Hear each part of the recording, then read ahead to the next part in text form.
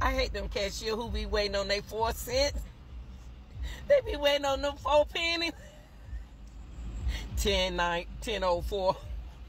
Baby, you got four pennies.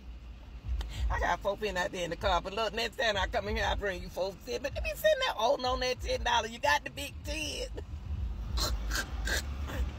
you got the big ten. You worry about them four pennies.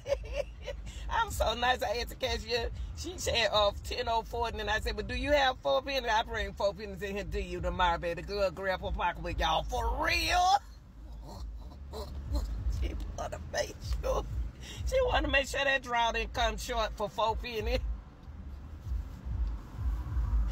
I tell you, boy, people something else, then we'll let them go if they ask for four pennies. We'll go look in our pocket without them asking us to look in our pocket, y'all. I tell you, people something else, hey, I tell you, society.